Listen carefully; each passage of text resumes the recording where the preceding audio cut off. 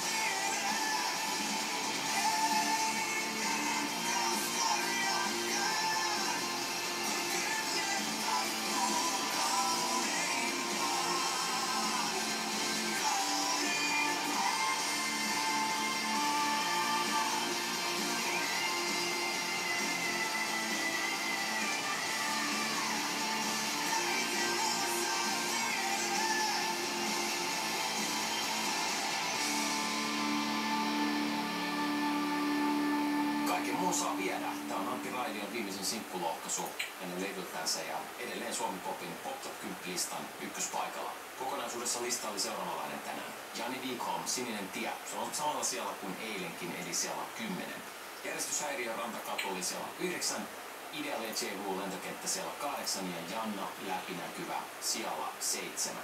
Suvi Isotalo, tunnit, se löytyi tänään sieltä 6. Ätä Miikka on puolessa välissä listaa kappaleella Remo, TCT Rannalla yhdessä Jontte Valosaaren kanssa siellä 4 ja Brady piste pisteen kanssa uimaan siellä 3.